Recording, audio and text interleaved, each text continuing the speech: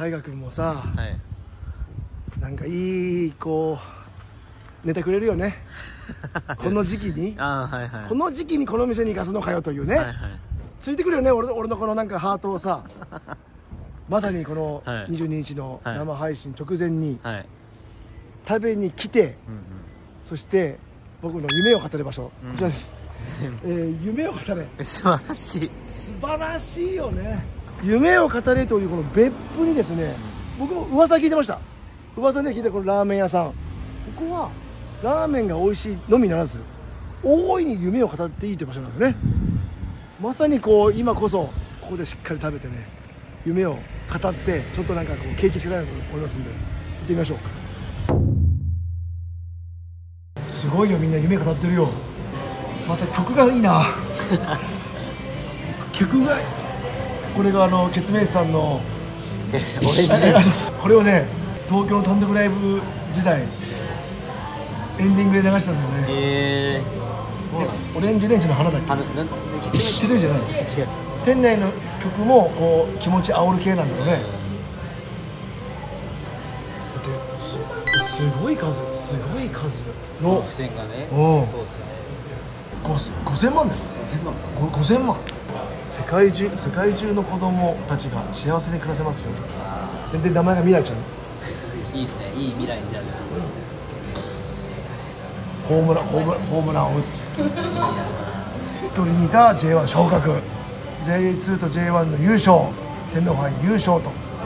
子ど子供が多いのか。子供子供が多いのじゃなくて子供がやることなのかな。ルフィ。この夢をバックにルフィっていいね。俺もほら大分王に俺はなる。っていう目標があるからね。なんかルフィの前と恥ずかしいな。なんか本物がいる。本物の前で弱い人がいるって結構勇気いるよ。でもね海賊王にはならないけど俺は大分王に俺はなると思ってるんだよね。悔い悔いのない人生。わあいいっすね。別府のイベント底上げ。ええ。これいいですね。広瀬すずと結婚するっていう。ね夢ですからね。いいいい。夢語っていいんでしょ？いいあ来た来た来た。はいうわうーわがっつり。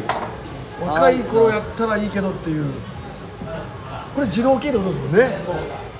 東京の時代は二郎系がっつり出たけど、まあ、あの30代よあれ。これちょっとすごいよ。背脂がっつりやね。背脂背脂たっぷり。とん豚骨醤油ですよねベースね。はい。いただきます。懐かしい。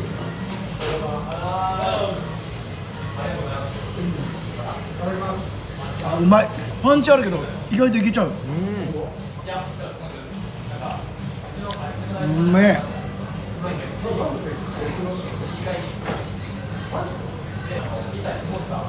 この歯ごたえがある。ブチブチ麺。うんうんうん。懐かしいこれ。めっちゃ。おいしいいや。でか。太っ。でけえ。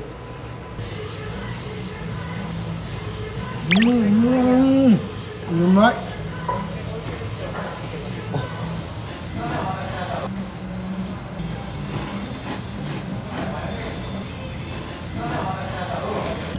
いや完食ようん息食いスープはちょっと残しちゃったけど。うんうまかった。あの貼ってある紙に書くんじゃなくて。こっち。です書いていいあそうなんです。かマークさん。あうわグローブ3人でもう一回だって。めっちゃいい。もうこの夢みたいなのも書けないですね。グローブさんも3人でもう一回の夢に勝て勝てないです夢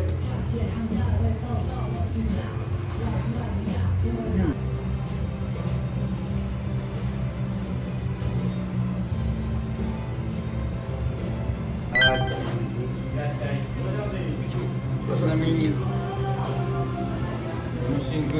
の時10万いってなかったです。今17万ぐらいです。俺メノシンさんという YouTuber さんが来て当時全然だったけど4万5万6万ぐらいですあでも激増して。それこそもう一個こっちの松田博君とか22万7千すげえ。あのちょっとレベルが違いすぎてその世界一のサッカーチあームと小学校4年生で、うん。まあ、スペインのレアル・ベティスってチームで中学校2年生からレベルが違うぐらいどうやってるの？ここにじゃあ書いてる方ちょっと別格な方が多いですねじゃあ。でそうここにじゃあ食べて書いた方はどんどん夢を叶えてるというか。まあまあそういう人が多いですなるほど。書かせてもらいました。私普段こういう言い方もしてこなかった人生ぼちぼちでやってきたんですけど今回初めて明確に一番に行くんだということでやってますので僭越ながら書かせてもらいました。ありがとうございます。もう本当に恐縮でございます夢叶えて帰ってきますんで。